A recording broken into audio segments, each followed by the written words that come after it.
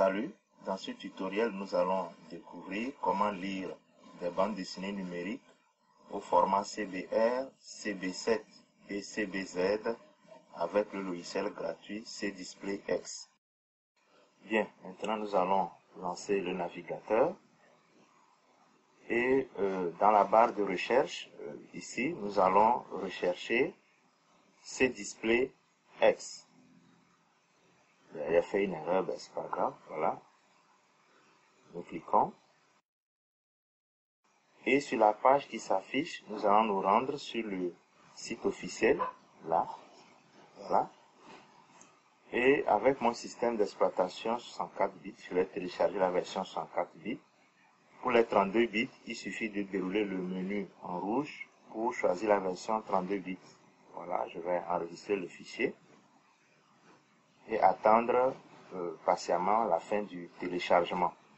Voilà, c'est fait. nous fermons le navigateur et nous nous rendons maintenant dans le dossier où nous avons téléchargé l'application. Voilà, le voilà. Vous pouvez l'exécuter simplement ou exécuter en tant qu'administrateur. Je peux fermer ceci. Bien, euh, l'installation commence. Nous cliquons sur suivant suivant, oui, suivant, nous décochons cette option, suivant, et voilà. Euh, pour finir, nous cliquons sur terminer. Ce display X démarre. Euh, et nous allons ouvrir une BD numérique pour commencer nous allons nous rendre à l'emplacement où nous l'avons, nous avons laissé. Voilà, c'est là. Nous allons commencer par euh, la BD compile. Voilà. Qui s'affiche, elle s'affiche. Le principe est simple. Euh, pour lire, il faut utiliser la molette de la souris pour euh, faire défiler les pages. Voilà. Ou les languettes gauche pour la page précédente, droite pour la page suivante. Euh, ensuite, pour zoomer, dézoomer, c'est la touche contrôle plus la molette de la souris. Pour faire défiler les pages, vous pouvez également utiliser les touches flèche directionnelle bas et haut. Voilà, c'est très simple. Ou la molette de la souris. Donc c'est très très simple à utiliser. Nous allons ouvrir notre BD, par exemple Zunarak, le guerrier. Et le principe est le même. Contrôle plus molette pour zoomer et dézoomer. Et la molette pour avancer, pour faire défier les pages. Et donc, ce display X est une application, une petite application qui vous permet de lire les bandes dessinées au format d'archives CBR, CB7 et CBZ de façon tout à fait simple et très conviviale. Euh, voilà, c'est simple.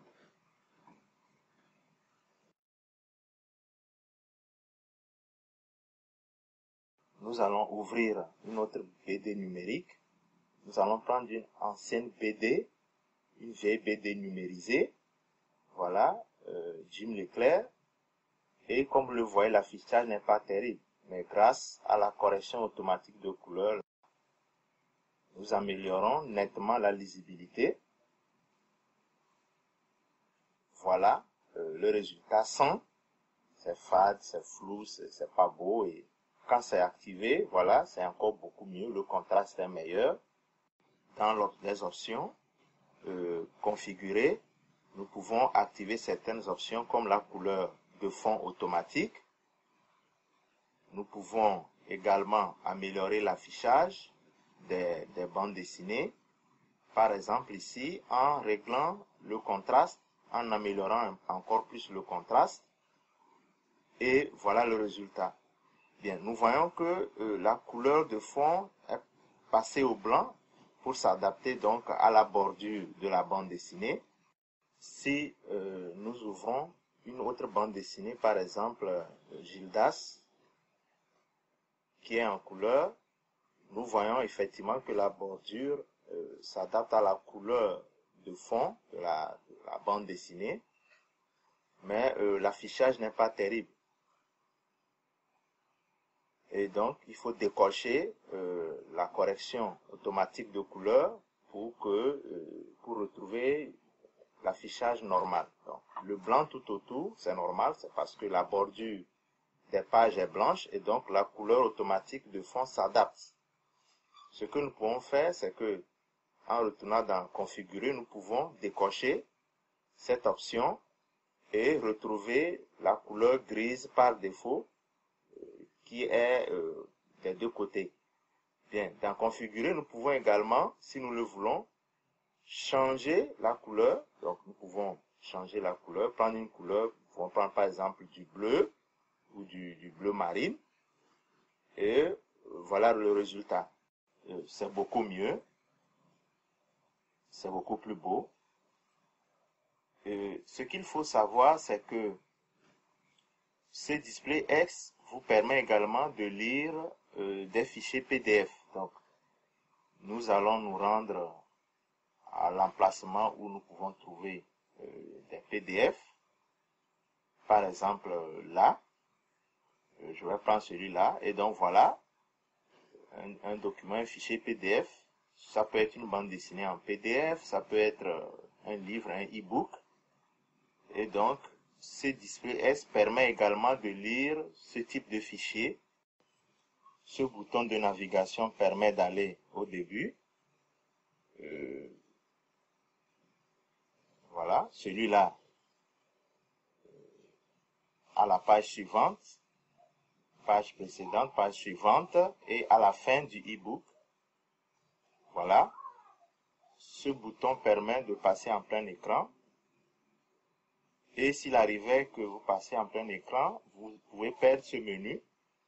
Et sachez que le clic droit permet d'accéder à ce même menu. Hein, donc, euh, le menu qu'on trouve en haut. Ce sous-menu vous permet d'adapter l'affichage à votre écran. Vous pouvez donc, voilà, vous pouvez donc remplir toute la largeur, euh, remplir, l'adapter à la hauteur, etc. Euh, bon, là c'est pas actif. Euh, sachez également que pour les authentiques mangas japonais, vous avez un mode de lecture à la japonaise.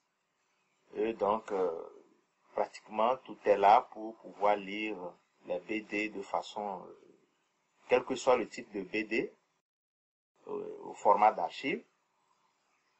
Vous pouvez lire. voilà, rien de nouveau pour l'affichage du, des PDF, rien de nouveau, tout est là. À la fin du tuto, vous aurez le lien pour télécharger ces trois BD en couleur. Sachez que euh, quand vous réouvrez une BD, euh, vous vous retrouvez à la page où vous étiez arrêté, où vous l'aviez quitté. Euh, donc, quelle que soit la BD ou les BD que vous allez ouvrir, vous allez vous retrouver à la page où vous étiez arrêté, par exemple dans Compile Gag. Même chose par exemple pour Zunarak, là où vous ouvrez, vous continuez.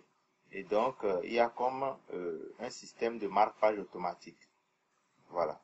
Pour quitter, vous tapez CTRL Q ou fichier quitter. Voilà, c'est la fin de ce tutoriel. Je vous remercie et je vous dis à bientôt.